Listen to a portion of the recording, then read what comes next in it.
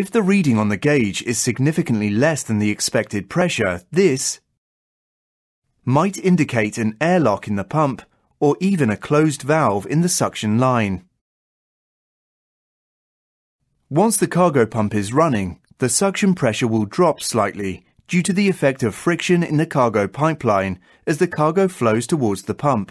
As the pump is running up to speed, it's essential that you closely monitor the suction pressure, the discharge pressure, and the manifold pressure readings.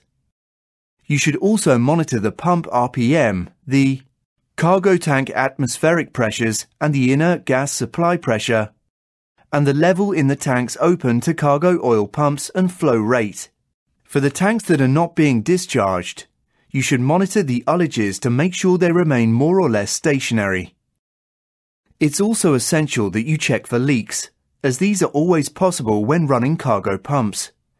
If a leak does occur, it's most likely to occur at manifold connections, cargo pump mechanical seals, pressure gauges or pressure gauge sensors, and pipes that have been removed and replaced for maintenance.